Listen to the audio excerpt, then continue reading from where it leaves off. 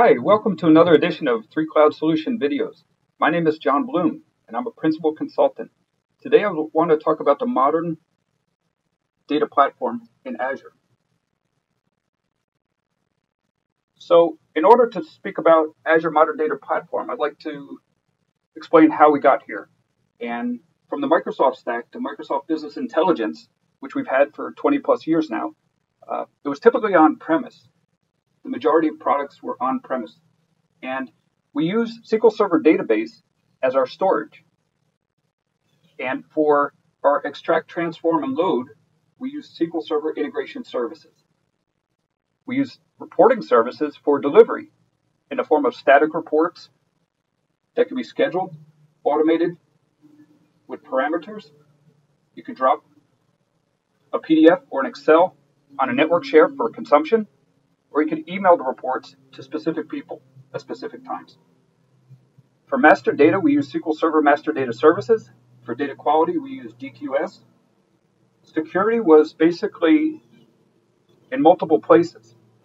Our change management system was based on a ticketing system, and it was very manual, room for errors. For source code repository, it was on-prem, and our data dictionary, which consists of tables and field types and descriptions for the business to understand the data models was typically in Excel. It got outdated pretty fast, and it was typically buried somewhere on the network, difficult to find. When we talk about the Azure Data Platform in, in the cloud, we can see the transition for the better. For storage, we have a variety of options, including Azure SQL Database, Synapse, Blob Storage, and Cosmos DB. For our extract, transform, and load, we use Azure Data Factory or Azure Databricks, and that works for ETL and ELT.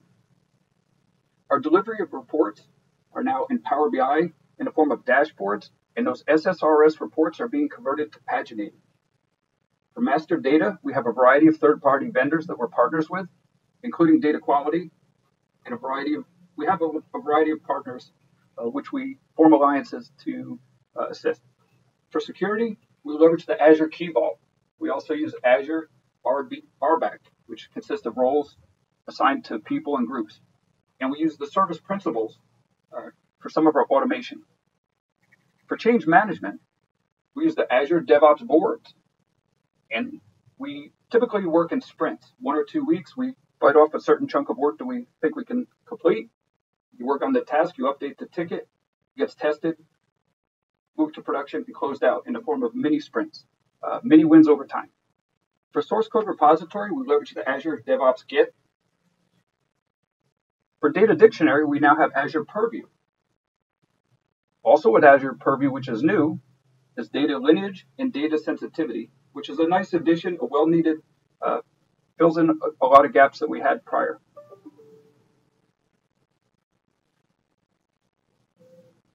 So when we talk about the analytic, analytical maturity curve, we start out with the basic reporting. It's those static reports with parameters that the user logs in and enters the parameters, waits for the report to render, and then looks at the report. If they want to run it again, they have to do the same thing over and over. That's why we moved to the self-service reporting, where we're not dependent on IT for the reports creation.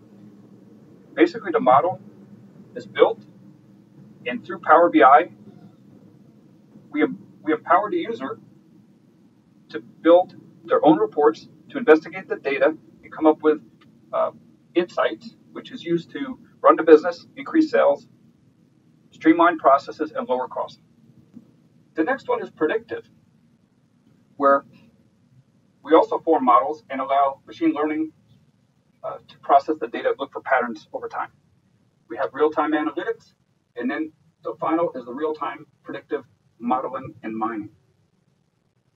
So you can see we've come a, we've come a long way over the years for the better, and Azure is a solid platform in which to run your business in the cloud and manage your data. When you throw in data governance, which encompasses a lot, Azure can handle the majority, if not all, of your data needs. So if you want to discuss this topic in more detail or have questions on Azure, please click on the link below for more information, and we'll be happy to discuss it with you further.